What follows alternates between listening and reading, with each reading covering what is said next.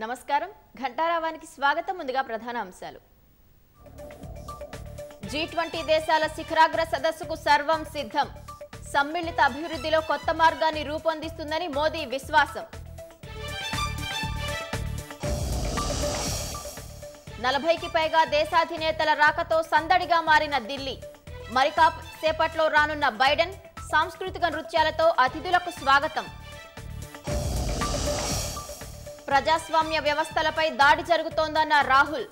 Belgium వేదికగా భాజపా సర్కారుపై విమర్శలు.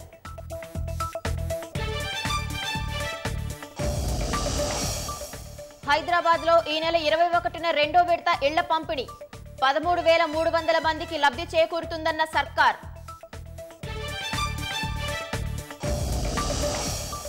Court కేసులు విమర్శలకు భయపడబోనన్న గవర్నర్. తన చర్యల్లో ఎలాంటి రాజకీయం లేదన్న తమిళిసై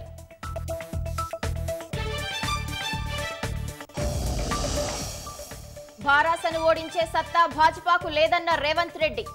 కాంగ్రెస్ గెలిస్తేనే పేదల బతుకులు మారుతాయని వెల్లడి.